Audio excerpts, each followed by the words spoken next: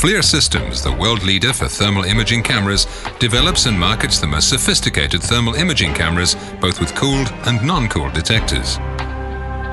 Cooled detectors operate in the 2 to 5 micrometer waveband. They contain a cryocooler and are able to detect the smallest details at ranges up to over 20 kilometers.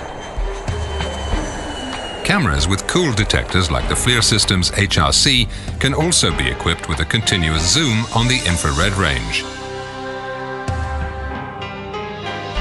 Uncooled detectors operate in the 8 to 12 micrometer waveband. Most FLIR Systems thermal imaging cameras contain an uncooled vanadium oxide microbolometer detector. Contrary to cooled detectors, they contain no moving parts, which reduces downtime and maintenance. They're less expensive but do not have the range performance of a cooled detector.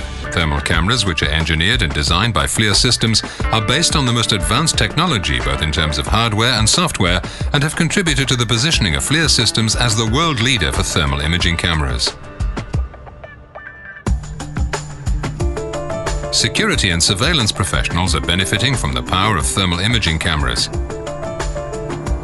It helps them spot intruders in total darkness, in all weather conditions, even at extremely long ranges.